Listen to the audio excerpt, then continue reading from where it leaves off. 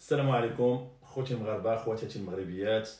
اليوم هذه حلقة خاصة لأن فيها بغيت نعبر لكم على الشكر ديالي وعلى زعما الامتنان ديالي من عندكم من جهتكم. يعني في الصراحة يعني كنشكركم بزاف كنشكركم بزاف بزاف بزاف لأنني توصلت بعدة يعني ميساجات كو سوا عبر الواتساب كو عبر يعني الفيسبوك آه، الإنستغرام كل شيء يعني يعني التضامن ديالكم معايا يعني كيزيدني قوة أكثر فأكثر.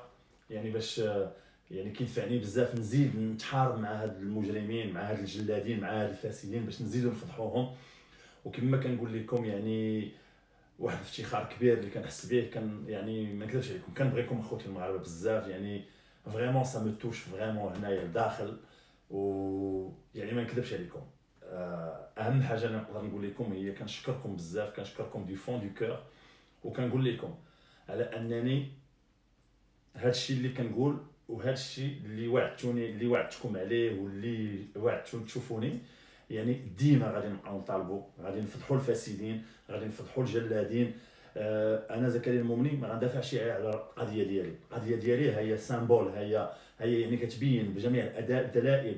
بجميع آه، يعني كتبين شنو هو اللي كيوقع في عهد ديال محمد السادس شنو كيوقع في هاد في يعني في في القرن 21 يعني والخطير في هادشي كامل هو أن يعني دوزت تقريبا 11 سنة وأنا كنتقاتل باش نجمع لي بروف باش نجمع هادي باش نجمع يعني رجعت واحد التكوين كبير باش عاود داكشي من الأول باش جمعت جميع الدلائل.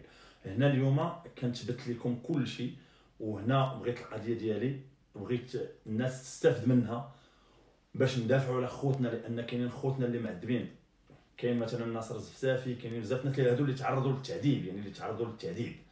كاينين ناس أخرين كاينين الصحفيين يعني لو كومبا ديالنا الخوت هذا في القضية ديالي هذا راه سي لو كومبا دو مالي وفي القضية ديال أن خوتي المغاربة ما بغيتهمش يتعذبوا حتى هذا راه لو كومبا دو مافي راه إلى كومبان لو كومبا ديالي.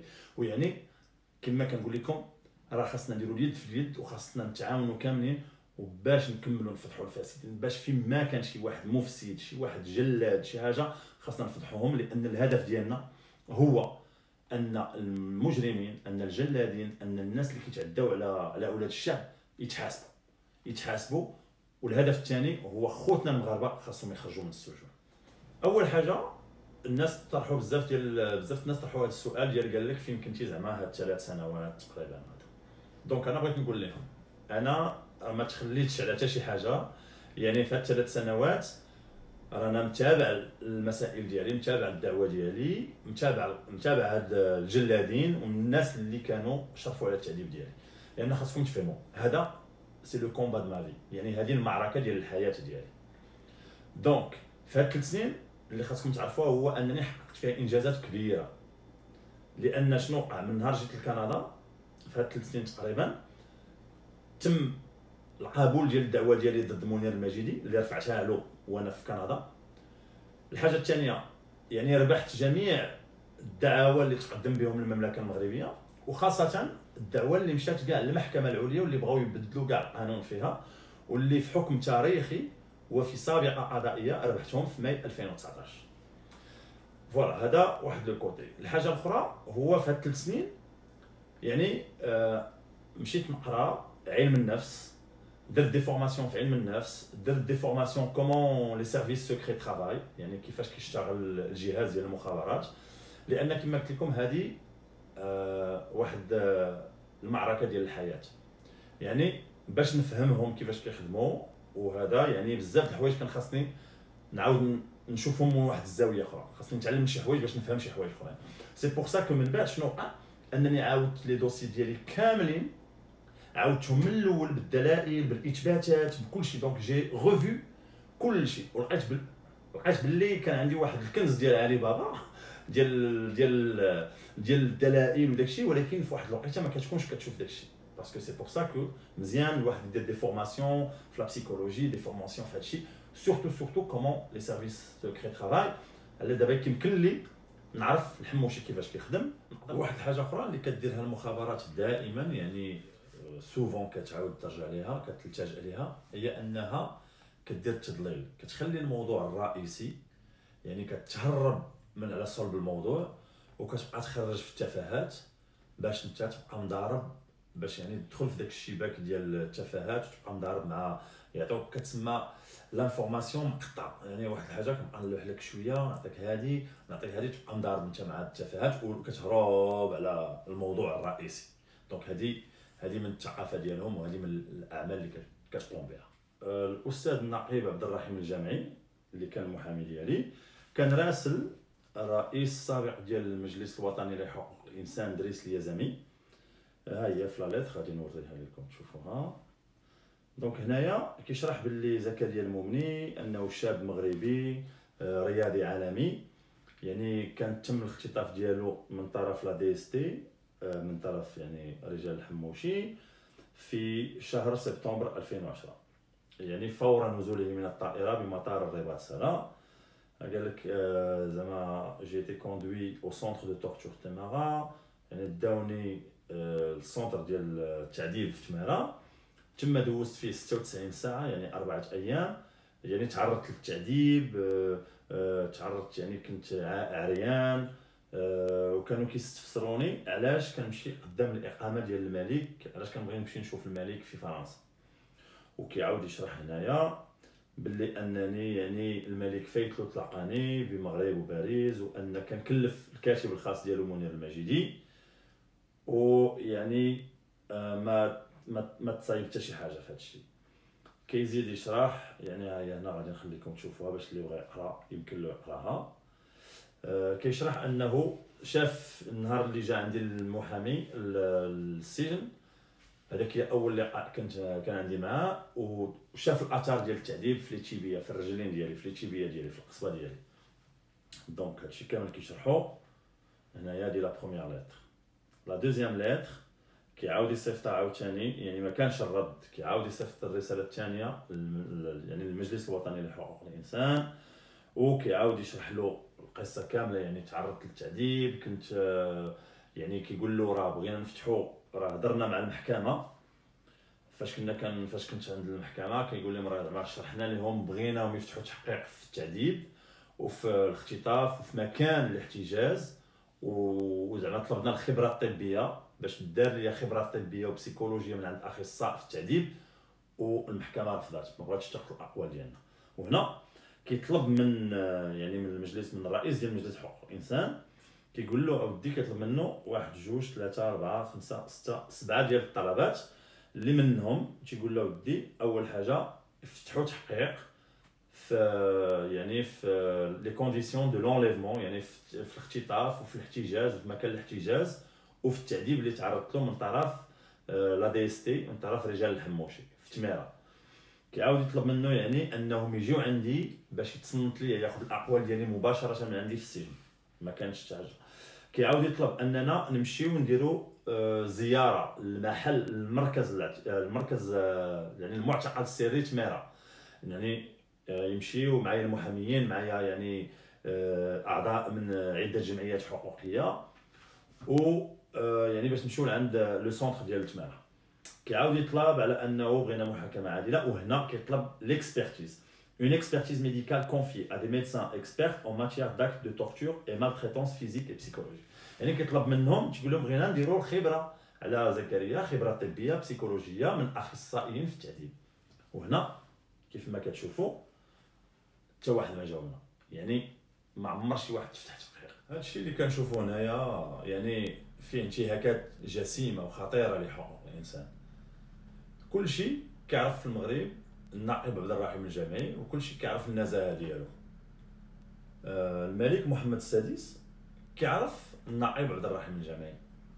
دونك يمكن لمحمد السادس يمكن لك تتصل بالناقب عبد الرحيم الجامعي وتسولو على الملف ديالي. هي الشهادة هنايا ديال الناقب عبد الرحيم الجامعي كان هو المحامي ديالي. هو شرحها أن المحكمة ما بغاتش تاخذ الأقوال ديالنا في, التعذيب ما بغاش يتفتح تحقيق ما بغاتش تاخذ يعني ما بغاتش تصنت لنا حتى شي حاجة لا في الاحتجاز لا في مكان في مكان الاحتجاز لا في الاختطاف لا في حتى شي حاجة.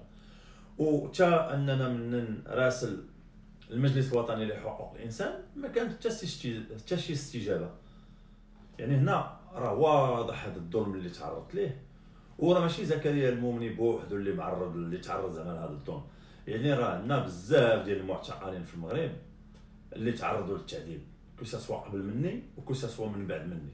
المهم في عهد محمد السادس. ناخذ مثلا الناس بحال دابا الحراك الريف آه ناصر الزفزافي راه عرف بالتعذيب ديالو خرج يعني شفناه في الفيديو وشفنا التصريحات ديالو. يعني هاد الشيء هذا خاصو هاد الشيء que ce soit يعني هاد الشيء خاصنا نلقاو له شي حل. ما يمكنش الجلادين يبقاو يعني أحرار هكذا. مازال كي كيزيدوا يعذبوا في خوتنا مازال كيزيدوا يسجنوا في خوتنا. دونك خاص يطلع شي حل. أنا هذه راه المعركة ديال حياتي. يعني غادي نبقى كنهضر على التعذيب كنهضر على الجلادين حتى يتحاسبوا حتى يتحاكموا حاجة أخرى غادي نبدأ نعرف بالقضايا السياسية ديال المغاربة اللي تا هما كيعيشوا نفس الحالات. دونك آه هادشي خاصنا نتحدوا جميع الضحايا اللي خرجوا من الحبس ولا العائلات اللي مازال الابناء ديالهم في الحبس. لأن خاصنا نكونوا متحدين باش نعملوا حد لهذه المعاملات اللا إنسانية ولهذا التعذيب وباش الجلادين ينالوا الجزاء ديالهم. لأن ما يمكنش ما يمكنش المغاربة يبقاو قابلين على أن الجلادين زعما أحرار حرين يعني طليقين كيديروا ما بغاو ومازالين زعما في الخدمة ديالهم ومازالين كيعذبوا في عباد الله ومازالين كيسجنوا في الناس. هذا الشيء راه مرفوض ومرفوض ومرفوض. الملك محمد السادس اعترف بالتعذيب في المغرب. بقات شي حاجة أكثر من هذه حتى هاد الناس دابا اللي كتسولوني كتقول لي ما كاينش تعذيب خاصكم تقولوها للملك محمد السادس. لأن الملك محمد السادس اعترف بالتعذيب في 2014 هنا فاش كانت جات la haut commissaire نافي بيلاي la haut commissaire des Nations Unies يعني المفوضية السامية للأمم المتحدة نافي بيلاي استقبلها الملك وخرجت وكتقول على أن الملك ها هي نخليكم تشوفوها ها هي هنا. كتقول على أن الملك استقبلها وقال لها على أنه ما يقبلش بالتعذيب وعلى أن كاينين حالات معزولة ديال التعذيب ولا أنه ما يقبلش على هذا الشيء. ولكن السؤال دابا هو الملك محمد السادس واش رد الاعتبار للضحايا ديال التعذيب؟